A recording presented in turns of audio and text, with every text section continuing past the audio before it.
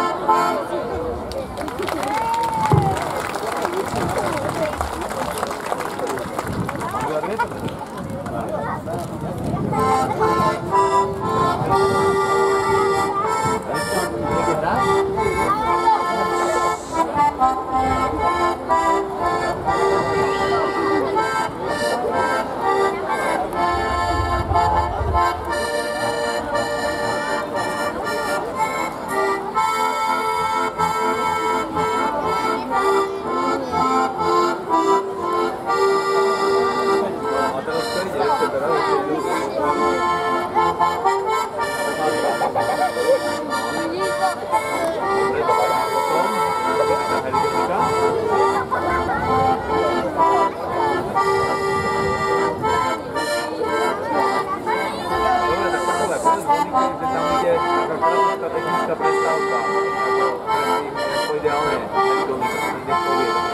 Drietomi.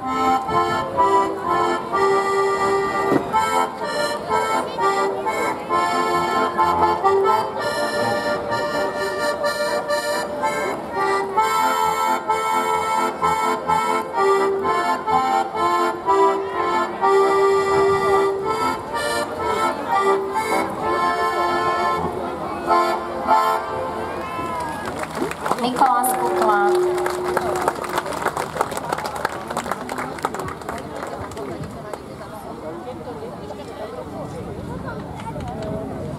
A len poviem, že deti, ktoré by sa chceli odviezť na koníkoch, tak sú tam vzadu, za tými stromami, tak nech sa páči, lebo sú tu len do 7. A pokračujeme s folklórnym súborom Trúfalci.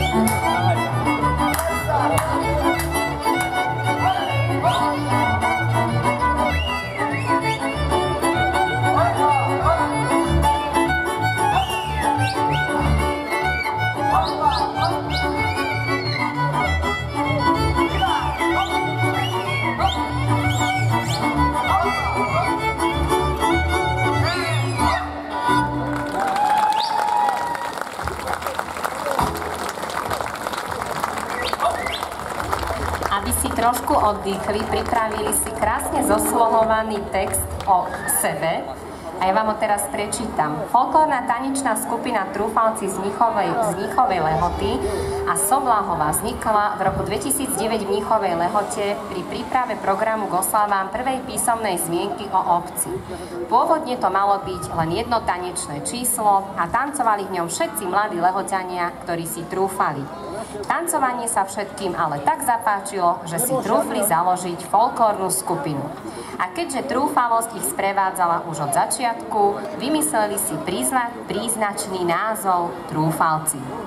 Folklórna tanečná skupina Trúfalci má momentálne okolo 45 členov. Mne sa vždy páči to slovo okolo, ani my sa nikdy nevieme spočítať. Najmladší má 7 a najstarší 32.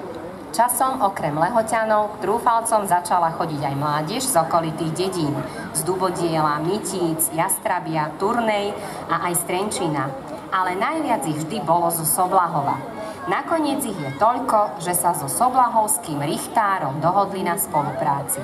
Takže v súčasnosti sú to trúfalci z Mníchovej Lehoty a Soblahova. Trúfalci interpretujú interpretujú tance a piesne z Mnichovej lehoty. Vystupujú na všetkých kultúrnych podujatiach Mnichovej lehote a teraz už aj Sobláhove.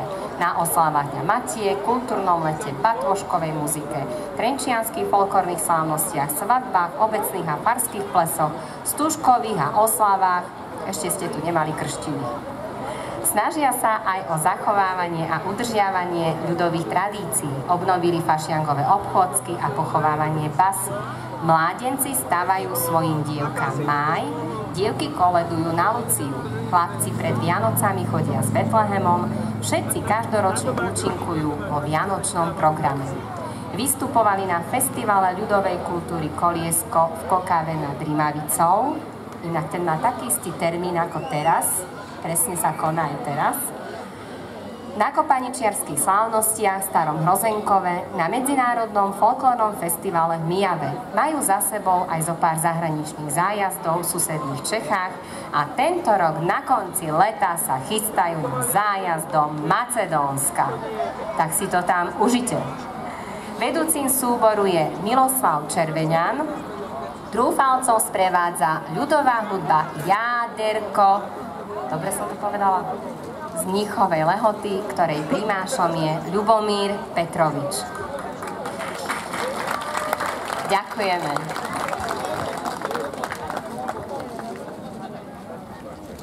Špacír polku mi zahrajte.